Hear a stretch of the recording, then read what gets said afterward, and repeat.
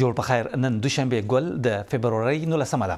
د وحا کې د افغانستان په اړه د ملګرو ملتونو پر غونډې پر دوهمه او ورستۍ ورځ هم ګډونوالو استادو خبرې کړې دي خو روسي ویلي د طالبانو غوښتنې ته په کتو د وحا کې د افغان مدني ټولنې استادو سره ناسته کې ګډون نه کوي کابل کې د روسي سفارت یو اعلامیه کې د طالبانو د خبرې ملاتړ کړی چې ویل یې غواړي د ملګرو ملتونو سر منشي سره مخامخ لیده کاته ولري او هم یې دې غونډه کې د مدني ټولنې د استازو مخالفت کاوه یا د دوی د دغه استازو د ګډون طالبانو ویلي د غوښتنو نه منلو یې دې ناسته کې ګډون له امله دې ناسته کې ګډون نه کوي خو د ملګرو ملتونو د سر منشي انتوني ګوتیرش په ګډون د سیمې او نړۍ شاوخوا پنځه ویشتو هېوادونو او بنسټونو استازي دې غونډې ته ورغلي دي. د چین استازي ویلي، ناسته کې د ترهګرۍ پر وړاندې مبارزې، بشري مرستو زیاتوالي، د یوه منځلاري حکومت جوړولو پر اړتیا، د سولې پر ټینګښت او بندیزونو پر لرې کولو خبرې شوې دي. یوې شیاویونګ ویل، د یوه خپلواک هېواد په اړه خبرو کې باید استازولي وای.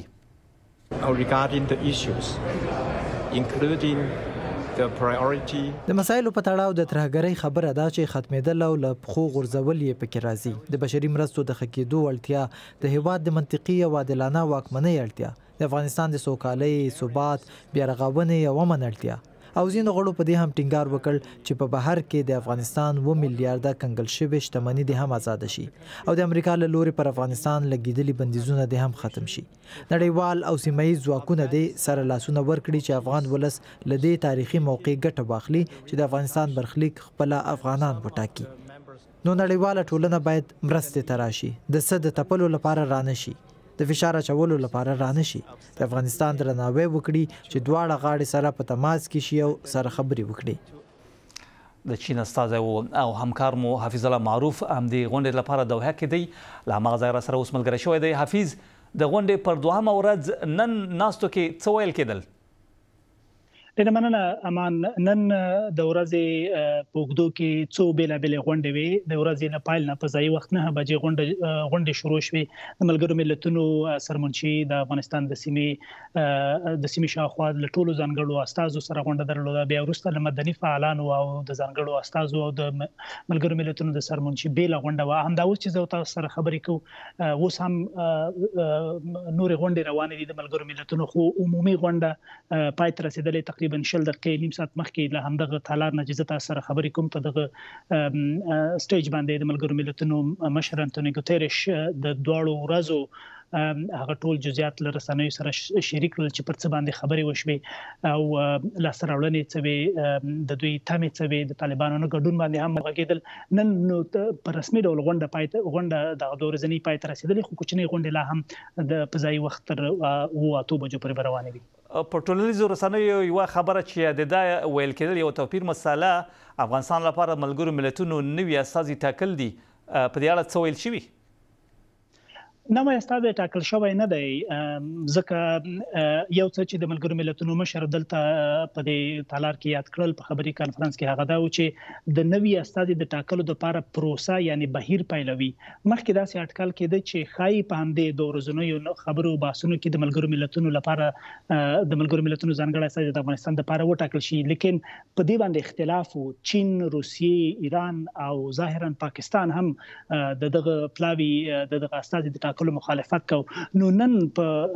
غونډو کې آف د ریکارډ چې ځینو دیپلوماتانو موږ سره خبرې کولې، هغوی په ښکاره ویلې چې دوی د دغه کار مخالف دي، نو په دې باندې د ټولو استازو همغږي نه وه، یوه خوله نه وو، نو په همدې خاطر د ملګرو ملتونو مشر وویل چې د دې پروسې د پایل لپاره سلا مشورې پیلوي، دا به بیرته ځي امنیت شورا ته هغوی سره به خبرې کوي او له هغې وروسته به بیا په دې اړه ګام پورته کوي حتی دا هم ویل چې له طالب چارواکو سره به هم په خبرې کوي ځکه هغوی له وړاندې ویلي دي چې بل استازي ته ضرورت نشته او هلته په افغانستان کې د یوناما استازولي شته او هغه مشره هم دلته راغلې وه او دوی ویل چې هغوی هلته ستنه د هغوی پښتوالي کې بل چاته ضرورت نشته پرون موږ سره په مرکه کې هم دا خبرې کړې وي نو تر اوسه پورې استازی ټاکل شوی نه دی پرېکړم نه دی شوی هغه څه چې په خواله رسنیو کې راځي سم نه دي لیکن د سلا مشورو بهیر یې پیلوي ټوله کې د استازو د ګډون او د غرض د طالبانو د دریز ته پکتو څه فکر کوي چې د ملګرو ملتونو دا ډول غونډې به کومې پایلې ولري چې افغانستان لپاره یو داسې یو حل یو لار راوګوري چې ټوله خواوې چې افغانستان سره ښکېلې دي د ملګرو ملتونو د مشر د خبرو لمخې په دې غونډه کې پر څو مسایلو باندې همغږي و لومړی دا چې افغانستان باید د نړۍ برخه شي او دوام مهمه دا و چې پر افغانستان کې داسې حکومت راشي چې د ټولو خلکو استازولي وکړي درېیمه مهمه خبره دا وه چې افغانستان بیرته د نړۍ له اقتصاد او سیاست سره وتړي په دې په دې شانو باندې ټولو کې باندې همغږي و او وای داسې یو افغانستان غواړي چې هغه هم له ځان سره او هم له گاونډیانو سره په سوله کې خبرې وکړي نو په دې خب... په دغه برخه کې پرمختګ شوی دی لیکن په نورو برخو کې د سیمې هیوادونو خپل ملاحظات لري او په هغه برخه کې ښايي ډېر د پام وړ پرمختګ نه وای شوی. بله مهمه مسله د طالبانو ګډون دی چې سره له دې چې د ملګرو ملتونو استازي مشر وویل ما خط ورته استولی او دوی ته مو بلنه ورکړې وه خو ویل هغه څه چې د دوی په لیک کې ماته بېرته رااستول شوي وو هغه د منلو نه وو او هغه غوښتنې چې دوی کړې وې وایي ماته د منلو نه وې نو په همدې خاطر که دوی برخه پکې اخیستې وای ممکن دا نتیجه لا نوره ښه وای. ډیره زیاته مننه حافظ الله معروف له دوحې راسره هلته افغان د افغانستان په اړه د ملګرو ملتونو د غونډې په اړه تازه جزئیات راکول دوه غونډې ته څو تنه افغان ښځینه فعالانې او د دغه هواد مدني ټولنې استازي هم ورغلي دي محبوبه سراج او مترا مهران هم په دې غونډه کې دي دوی دې غونډه کې د طالبانو د نه ګډون په دلیل بي بي سي ته ویل خپله فکر وکړئ چې نور افغانان دې نه وي ولې؟ افغانستان مدني ټولنه نه لري؟ افغانستان ښځې نه لري؟ افغانستان یو شمېر نور خلک نه لري؟ ولې څوک داسې ووايي؟ دا خو د ټولو سپکاوی دی.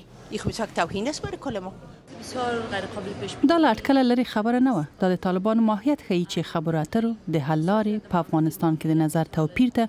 د نورو ګډون ته چې د دوی مشروعیت نه مني، که په ملي کچه وي که په نړیواله دوی پرې باور نه لري. تر یوه ځایه دا د طالبانو په جوړښت پورې ده چې یوازې ځان ویني او دا هم د دې دلیل شوی چې دلته په دې غونډه کې برخه وانخلي. ما هیله نه لرله چې دلته په دوحه کې له طالبانو سره ووینم او نه مې غوښتل چې له طالبانو سره خبرې وکړم. زموږ هیله دا وه چې له نورو هیوادونو سره جلا ووینو او هغوی بیا له طالبانو سره خبرې وکړي موږ له نړیوالو سره په خبرو کې وویل چې طالبان له ښځو سره څه ډول چلند کوي او باید له نړیوالو قوانینو سره سم محکمې ته راکاږل شي. بل د نړیوالو له خوا د طالبانو د مشروعیت خبره وه. که دغه بحث کېږي، په کور دننه د دوی مشروعیت ډېر مهم دی چې اصلاً نه یې لري. زموږ بله غوښتنه په هر بهیر او غونډه کې د معترضو ښځو ګډون و او په افغانستان کې د ښځو په وړاندې روان جنسیتي تبعیض باید وپېژندل شي او پر دې موږ ټینګار درلود. د دوو افغان مدني یا بشري حقوقو فعالانو خبرې مو اورېدې چې د دوحې غونډه کې هلته ګډون په اړه ورغلي دي افغانستان کې د بشري حقوقو په اړه د ملګرو ملتونو ځانګړي راپورتر ریچارډ بنټ ویلي د ښځو پر وړاندې د توپیري چلن ټولو بڼو له منځه وړلو تړون لخوا د ښځو پر وړاندې د طالبانو ټولو تګلارو او عملونو غندنې هرکلی کوي چې وايي طالب یا طالبان له ښځو سره په تړاو د دوی کړوله د دغه تړون له ټولو مهمو برخو سرغړونه ده خو طالبان پرلپسې وايي پر دوی نیوکې ناسمې دي حفیظ الله معروف دوحه کې له طالب استازي محمد نعیم سره په همدې اړه خبرې کړي ګینه ملتونه دا وایي هغه بل داسې وایي زه د هغوی سره خبره کوم چې د هغوی د کوم معیار دی د هغوی هدف نه د بشر حقوق دی نه د ښځو حقوق دی نه د ماشومانو حقوق دی ځکه چې درګرده موږ تاسو ګورو روزمره شکل باندې هلته ښځې وژل کیږي شهیدانیږي کورونه یې ورانیږي ماشومان یې شهیدانیږي وژل کیږي مکتبونه بمبار کیږي جوماتونه بمباریږي څوک شته چې مخه یې ونیسي؟ خو ملګري ملتونه او امریکا او بریتانیا نړۍ به په خپل ځای پریږدو. تاسې د یوه افغان په ډول چې ځان چارواکی ګڼئ، د حکومت په ډول چې ځان مشروع ګڼئ، مسؤل هم ګڼئ، فکر کوئ چې څه کم نهه سوه ورځې په کوم ځای کې دا امکان لري چې ته معصومې نجونې له درس سره وګرځی؟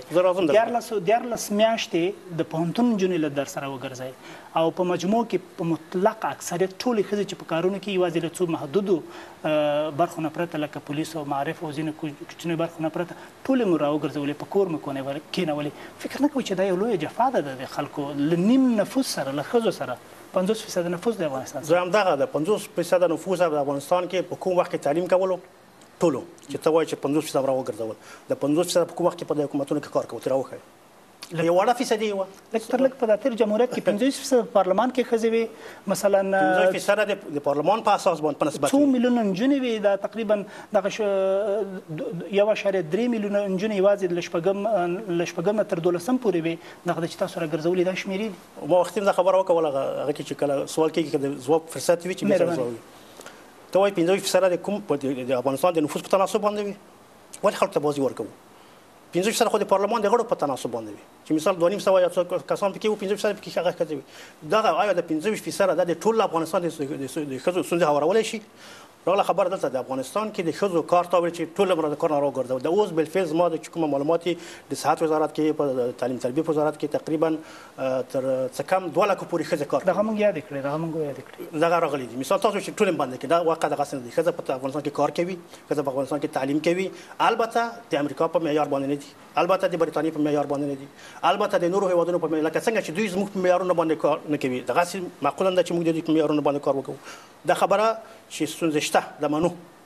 خو دغه ستونزې یوازې اوسنۍ نه دي. تاسو وګورئ د افغانستان کې یو ټکی کېدای شي ځینو ته جال هغه وي چې معلومات وي یا به نه وي یا به چا ورپام یې کې به نه وي په افغانستان کې متاسفانه د ښځو د تعلیم او د کار اساس چې ایښودل شوی کوږ ایښودل شوی دی څه معنا په کوم وخت کې چې د افغانستان کې د ښځو د تعلیم موضوع را مطرح شوله د امان الله خان په وخت کې یا د ښځو د کار خبره هلته په دې شوله چې ښځه چې تعلیم کوي دا ټکړۍ به غورځوي چې عملاً متاسفانه موږ تاسو ته وویل، دا دی چې افغانستان د ارزښتونو سره، د خلکو د کلتور او د ثقافت سره د هغه وخت نه د ښځو د تعلیم سره یو لوی ظلم وشول. د هغه وخت نه د ښځو د کار سره یو لوی ظلم یا قصداً یا چې هغه بره سهواً هر چا چې کړی بر قسم یې چې کړی دی د ښځو د تعلیم مقابل کې هغه وخت دلته یو داسې یو اقدام وشولو چې متاسفانه تر ننه پورې دغه ولس دغه نه کړیږي. که هلته د افغانستان د کلتور او د ثقافت او د ارزښتونو او د عقیدې په رڼا کې یو سم مثبت کار پورته شوی وای، یو چوکاټ ورته برابر شوی وای، نن به موږ دغسې مشکلاتو سره نه وو مخامخ. اوس د دې لپاره چې دغه مشکلات څنګه حل شي دا چې دغه مشکل یو ورځنی نه دی یا دوه ورځنی نه دی یا لس کلنی نه دی یا شل کلنی نه دی تقریبا د پنځوسو کالو سابقه یو مشکل دی د دې د حل لپاره دا یو وخت غواړي دا یو په یو نه کېږي سره کرا کرا به د دې لپاره په ګډه کار کوو هغه ځایونه کې چې کار پرمختګونه شوي دي هغه ته باید د پرمختګ په نظر وکتل شي په کوم ځای کې چې ستونزې شته ستونزې هم فرق کوي ځینې ستونزې ډېرې ژورې وي ډېرې پراخه وي ریښې لري ځینې ستونزې داسې وي چې هغه زر اوارېږي نو په مجموع کې په عام شکل باندې زه یو بل هغه ووایم چې ځنې خلک متاسفانه مثبت ټکو ته نه ګوري د افغانستان په تاریخ کې تاسو وګورئ په اول ځل د امیرونی صاحب فرمان راغی د ښځو د حقوقو په اړه باندې هغه ښځو حقوق چې یوازې پارلمان کې د ښځې لپاره نه یوازې د سړک په غاړه باندې د ښځې لپاره نه په تلویزیون کې د ښځې لپاره نه هغه ښځه چې هغه په کلي کې اوسي هغه ښځه چې هغه په کور کې اوسي هغه ښځه چې هغه چیرته ده د ټولو لپاره عام حقوق هغه دا چې ښځه به له دې وروسته هغه د یو آزاد انسان په حیث باندې هغه په بدو کې نه ورکول کېږي. د ښځې د میراث حق موږ تاسو خپل افغانان ته هم پوهېږي زه هم پوهېږم چې موږ په ټولنه کې متاسفانه هغه ثابت حق چې قرآن ورکړی دی ښځو ته نه ورکول کېږي. د هغه لپاره امین صاحب فرمان صادر کړ. دغسې نور هغه شپږ ماده ییز فرمان چې کوم و خو دا نه په دې ملګرو ملتونو دوی ته لبیک وویلې. نه هغه کسان چې د بشر حقوق وایي نه هغه ورته لبیک وویلې دا معنی چې دلته دوه ګونی چلند کیږي د بشري مسایلو سره د ښځو د حقوقو د مسایلو سره هلته سیاسي چلند کیږي چې دا مشکلات پرته له دې چې اضافه یې کړي مشکلات نور ایجاد کړي حل کولای نشي. طالب استازی محمد نعیم و چې د ښځو د حقونو په اړه او پر دوی باندې د چې د ښځو له حقونو سرغړونې کوي د نیوکو ځواب کې د حافظ الله معروف پوښتنې ځوابولې.